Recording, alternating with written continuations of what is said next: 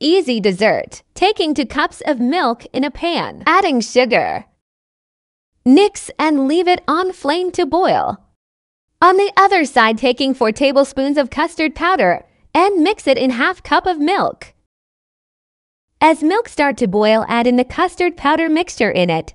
Mix and let it cook till custard thicken. Our custard is ready. Dishing it out. Placing biscuits on top of it. Time to make jelly.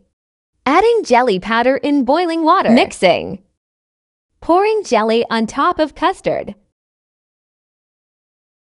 Sprinkling coconut powder on it and putting it in refrigerator to set. Our dessert is ready.